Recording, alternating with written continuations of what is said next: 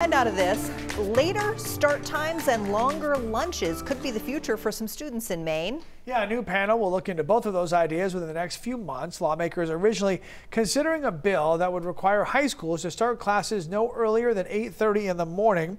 A different bill would have extended lunch periods to 30 minutes long. A legislative committee voted against both bills yesterday, but didn't scrap the ideas completely.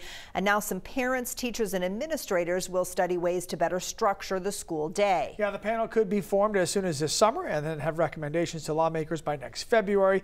If you'd like to read more about this, you can do so by checking out today's Portland Press Herald. All right, meantime, there's a conversation happening in schools around the state right now about what it means to belong. And that's true in Bangor, where there's a new report that shows students can really have pretty different experiences when they're at school, and that depends on their background. Our Caroline LaCour here with a look at how district leaders are responding to what they've learned, at least so far. Hey, Caroline. Hey, good morning, Lee and Sharon. Back in 2020, the Bangor School District launched a Diversity, Equity, Inclusion, and Belonging Committee to steer schools towards a more inclusive environment.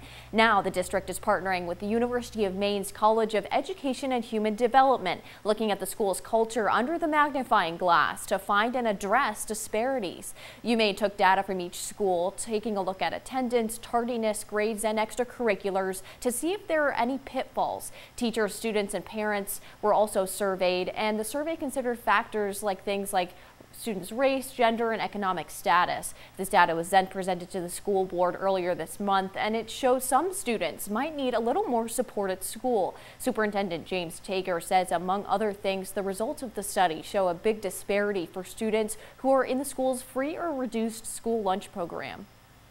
There was evidence that students who were on free or reduced lunch were late to school more often, they were absent more often, they had less opportunities to be in extracurricular activities. You know, academic excellence is a big priority in the Bangor schools, and that was something that the study said we're doing very well.